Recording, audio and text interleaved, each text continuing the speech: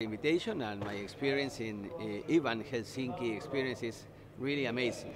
No, I enjoy a lot the, the, the, speakers, panels, and everything. Thank you. In the near future, I think that the angel investors uh, we complement their activities with corporates. That we think that the corporates need to, to find the innovation in the market, and the angels catch up then. Wow.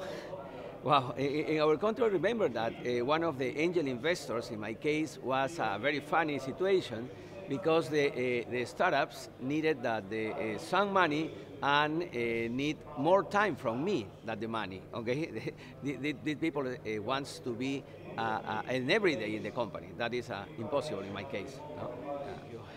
I think that the, the, principal thing that the startups have to do is focus okay? Because the startups is normally when it start this is talking about the own market and the another market and expand internationally. But my advice is focus in their own market first.